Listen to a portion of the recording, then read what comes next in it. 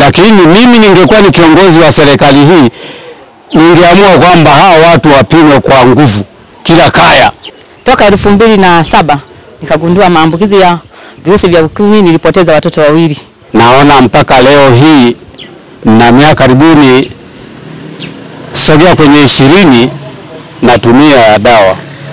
Karibu CG Online TV. Usisahau kushare, kulike, kucomment na kusubscribe. hapa hafi mtu, wewe ujitakie mwenyewe ujenge hafi kabisa. Wewe unasema mimi, sikiliza bwana, hii homa nimeipata sawa, lakini maisha yanaendelea. Watoto wako wale chakula kizuri, watoto wako wavae vizuri, watoto wako wafike mahali waishi katika nyumba nzuri. Wewe na familia yako muende mkajenge nyumba nzuri, usikae ukajikunyata ukainama chini ukasema kwa nini mimi na sisi jamii tunaowazunguka ndugu zetu hawa ambao ni majasiri, mimi nasema ambao wameonyesha mfano wa kutukuka. Kazi yetu sisi si kuwanyonyesha vidole na kuwanyanyapaa, kaunganishwa na mtandao, marehemu mtarajiwa, maneno ya ovyo ovyo hivi. Hakuna mtu hapa duniani ambaye hata kufa. Kwa hiyo mimi nakuja hapa si tu kwamba nyinyi wana vikundi tunawatambua, tunawaunga mkono katika jitihada zenu za kupambana na hili gonjwa, lakini katika jitihada zenu za kuzalisha ili kufanya maisha yao mazuri. Ameeleza vizuri sana ndugu yetu Wanakofa. Nakofa anasema hivi, tunataka tuwajengee uwezo wa kiuchumi, uwezo ambao utakusaidia kubeba majukumu yaliyoko mbele yako jamii zote na familia zote na watu wote walioonekana kwamba wanafanya vizuri katika masuala ya kiuchumi, hili tatizo wala utalijua. Afya yao ni nzuri, wanakula chakula kizuri, wanavaa vizuri, wana usafiri mzuri, watoto wao wanasoma vizuri. Sasa wewe utakaa hapa, tutakwenda mbele ya safari kule, usishangae sayansi na teknoloji inakuambia na dawa yenyewe imepatikana, kwa sababu sasa hivi hatujapata kuna ya kufubaza. Huku nyuma hukujenga, huku nyuma hukusomesha watoto, huku nyuma hukuzaa watoto. Kwa nini umekaa umeinama chini? Hey, come on man, wewe usikaa hapo umeinama. Nimekuja kukwambia hafi mtu hapa, hata kufa mtu hapa, hakuna mtu atakufa hafi kabisa. Wewe kaa hapo mwenyewe shughuli yako, wewe ukaanza kusema unajua, labda likupombe lori likugonge lori, naambia kupita kushoto, wewe umepita kulia, ukakutana nalo. Lakini tunatoka hapa changamka, piga panki sana, piga mabutu mabutu sana, wakina mama piga pamba sana, wakina vijana piga travolta sana, alafu tupia nguo na nini, alafu unasema maisha yanakwenda hafi mtu hapa, na itakuwa. Napenda kuchukua nafasi hii kwa kweli kuwashukuru sana ndugu zetu eh, wanakofa ambao wameweka alama. Najua wameleta sanitizer hapa kwa ajili ya hili tatizo lililojitokeza la corona. Inaitwa tatizo ni double double. Unalo hilo, haisemi kwa vile una virusi vya ukimwi, kwa hiyo sitakupitia. Usipochukua tahadhari, maana yake ni kwamba utapata matatizo. Kwa tunapenda kuwashukuru sana NACOFA na kwa namna ya kipekee USAID, ili shirika la Marekani ambalo linaonekana kwamba linatusaidia katika kupambana na ukimwi katika nchi yetu na katika mkoa wetu wa Tabora. Lakini sasa kwa sababu tumepita, tumekwenda katika wilaya zote, tunapitia mkoa mzima ah, mpaka sasa hivi kwa kweli tumeweka alama. Hatuwezi kwenda tu kila saa tunasema asanteni eh, bila ku, kuona na sisi kwamba ni kwa kiasi gani tunaunga mkono. Kwa hiyo kwanza kabisa kundi hili ambalo tumekuja kuwatia moyo, kuwajengea matumaini mapya e, mtatupatia account namba yenu. Ah, Kwa hiyo tutawapatia shilingi milioni moja ambayo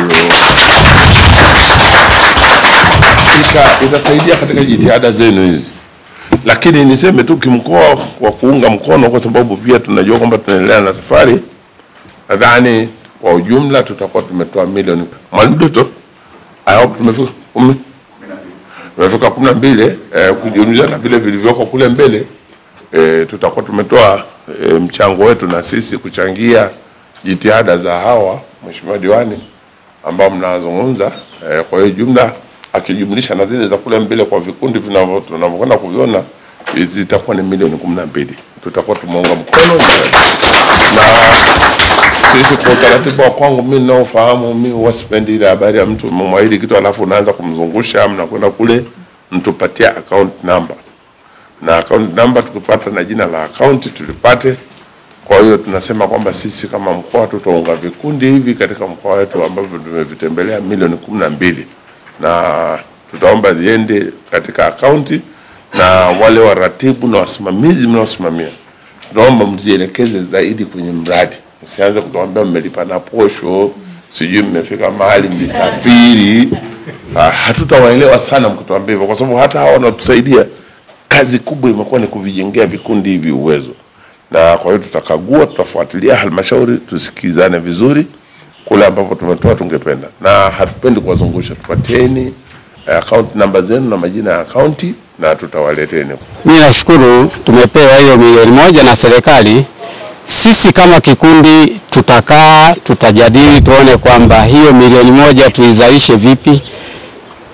Tunaweza kubuni mbinu za kununua mazao makavu, tukanunua mpunga tukahifadhi, bei itakapopanda tunauza, tunaendelea kuzalisha.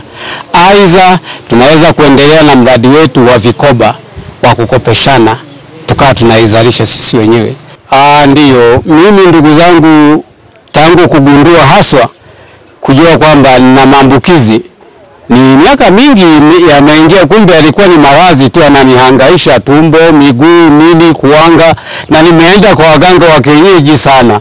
Nimekuja kugundua elfu mbili na saba kumbe nina tatizo hili e, lakini yote yale kumbe ilikuwa ni majaribu ya hii ni ugonjwa. Kwa hiyo kuanzia elfu mbili na saba ikawa nimeigundua hili tatizo baada ya kupimwa pale CTC Nzega. Kwa hiyo niliendelea kupata elimu na kupata dawa. Naona mpaka leo hii na miaka karibuni sogea kwenye ishirini natumia dawa, na namshukuru Mwenyezi Mungu bado ananiwezesha kuishi katika dunia hii mpaka sasa hivi na miaka sitini na nane. Kwa hiyo ndugu zangu, cha msingi ni kuzingatia matumizi ya dawa na maelekezo. Mimi sikupenda kujificha baada ya kuiona hili tatizo, ilibidi kwamba nijiweke wazi. Basi mpaka sasa hivi nashukuru ndugu zangu, bado Mwenyezi Mungu ameniweka niko hai. Na hili gonjwa ukishajificha tu, hutaki kupimwa, matokeo yake akija kutoka, naona pale Mwenyezi Mungu ni kuamua kuchukua tu.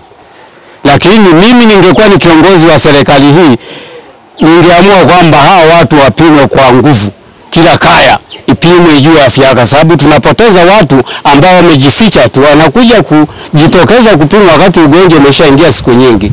Kwa hiyo naiomba serikali ukweli ingejaribu kwa hatua hii ya elimu tumetoa, labda ijaribu na kupita kila kaya, tuhakikishe kwamba tuwe tumeshapimwa afya zetu.